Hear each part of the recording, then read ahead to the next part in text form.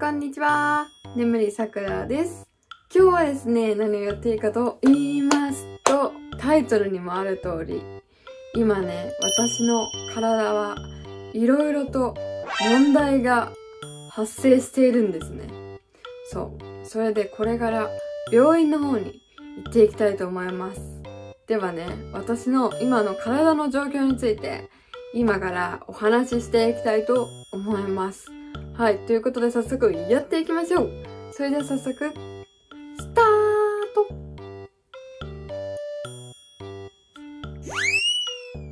はい。ということで早速お話ししていきたいと思います。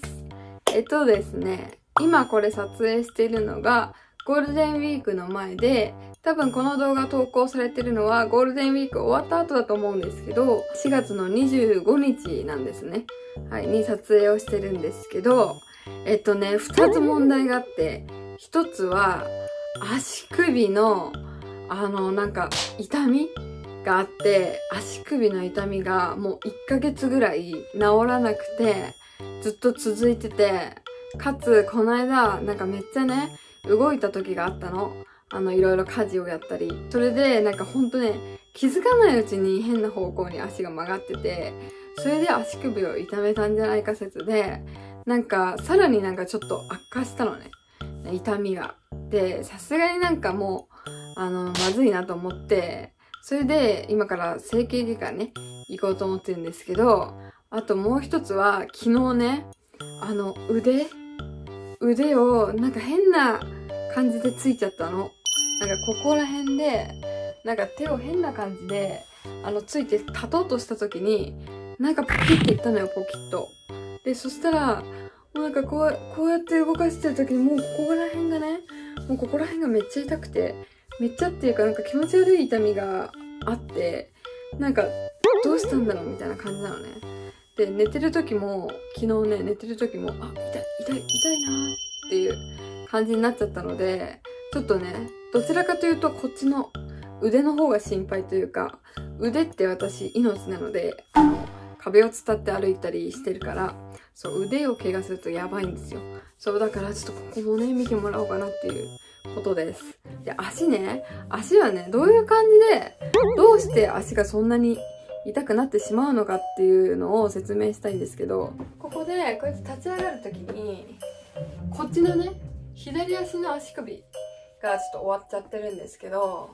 うやって立つときに、こういくわけです。で、これです、これ。これが、こっちに思いのほか体重がかかってて、みたいな感じなんですよ。で、それがもう繰り返されちゃって、もうね、足首が終わってしまったっていう感じなんですけど、今は本当地面に座ることが多くて、以前ね、リハビリセンターの方で、装具っていう足につけるものを作ってもらったことがあるんですけど、それは、あの、立ったり座ったり、あの、ここの膝のところまでね、固定されちゃうから、あの、地面に座ったりする場合はあんまり使えないというか、あの、痛くなっちゃうから、そう最近は本当ね、地面に座ることが多くなっちゃって、地面から立ち上がることもすごい多くて、だから装具も使えないのね。今やってる1年間のインソールのあのリハビリ、車椅子卒業に向けたあの企画やってると思うんですけど、その訓練には支障はなくて、椅子から立ち上がる動作とかは問題ないんですけど、あの、なんか歩いてると、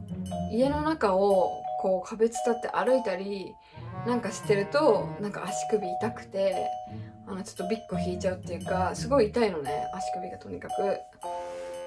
こっちの足首がとにかく痛いので、様子見てもダメだなっていうので、ちょっとこれから病院に行ってきます。何もしなくても痛くなってきちゃったんだよね、最近は。歩いてなくても、なんかちょっと、鈍痛っていうの？なんか、キリキリみたいな痛みがあって、そう、やばいから、ちょっとこれから、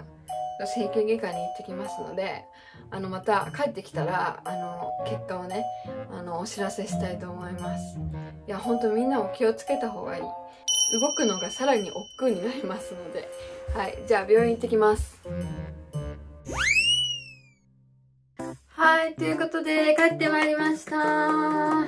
あ意外とね、でも待たなかった。結構すんなり、初めての整形外科だったんですけど、意外とすんなり、すんなりでもないけど、まあ、そんなに待たずに終わりました。あの先生めっちゃ優しくて、なんかまず最初になんか、足首のなんかエコー、エコーを取りますとか言って、あのなんか、こういうさ、なんか、なんていうの？映像みたいななんか え、なんかジェルつけて、なんか、こうやって機械を当ててみたいなやつをやって、あのなんか、何？人体痛めてるところがあるかみたいなところを見たら、あの足首はなんか腫れてますね、みたいな感じで言われて、その後、その後レントゲン取って、で、あの骨が折れてないかチェックしますね、みたいな感じでやったけど、あの骨は全然大丈夫でした。そう、だから結果的には人体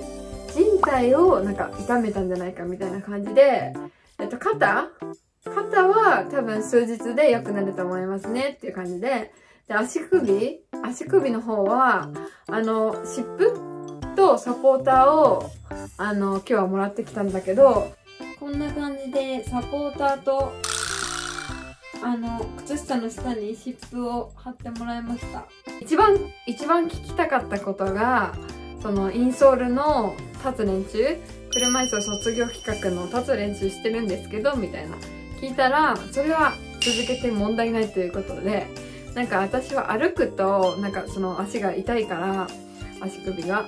だからなるべく、まあ、歩かないようにしたりとかしてくださいって言われて、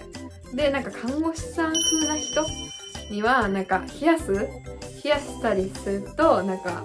早く治りやすいとか、なんか言ってました。5月の半ばとか、それぐらいにまだ治んなかったら、また来てくださいって言われて、なんかリハビリとかをその時点で、あの、ちょっと考えましょうかみたいな感じで言われました。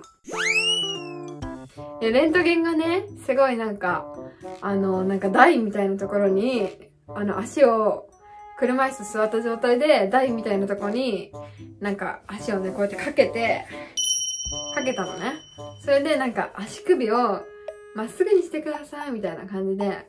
言われて、そうだけど私の足首ってあの内股になってるから、そうだからあのちょっと難しいですねみたいな感じで言ったのね。それで看護師さんが一生懸命まっすぐにしようとこうやってね引っ張ったりしたんだけどあのならなくてなんかおなんかね、クッションみたいなやつをこうやって敷き詰めて、まっすぐ風にね、して、取ったりして、その後になんか今度はもっと、あの、難しいこと言って、あの、足首を外側にしましょうみたいな言われて、いや、それもっと無理かもしれないですね、みたいな言って、で、看護師さんが足足をね、こうやって一生懸命動かして痛くないですか？痛くはないですって言って、なんか外側に倒してほしかったみたいで私の足ってこんな感じで内股になってんだよね。内股になってるから外側には向かないのね。左足は特に。そう。だけどなんかまっすぐにしてくださいとかあの外側に向けてくださいって言われてあの看護師さんも手でなんか外側にしたりしようとしたけど動かなくて全く言うこと聞かず1ミリも動きませんでしたっていうなんか違うなんか内股のままなんか撮ってましたね。レントゲンってなんか一瞬ですごいね。一瞬で「はい終わり」みたいな感じでした。はい。でこのサポーターの止め方とかもあの教えてもらってちょっとそこが心配なんだけどちゃんと覚えてるかなみたいな感じで。そう。でこれをなんか日中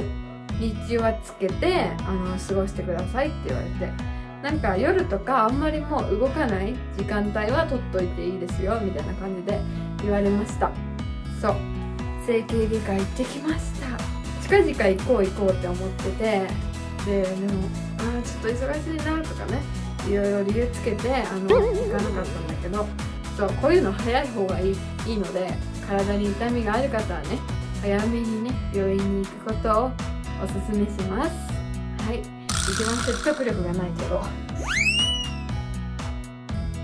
はいということで今日はこんな感じで終わりたいと思います。ちょっと良かったなと思ったらグッドボタンとチャンネル登録よろしくお願いします。ではまた次のさくらチャンネルでお会いしましょう。せーの。バイバーイ。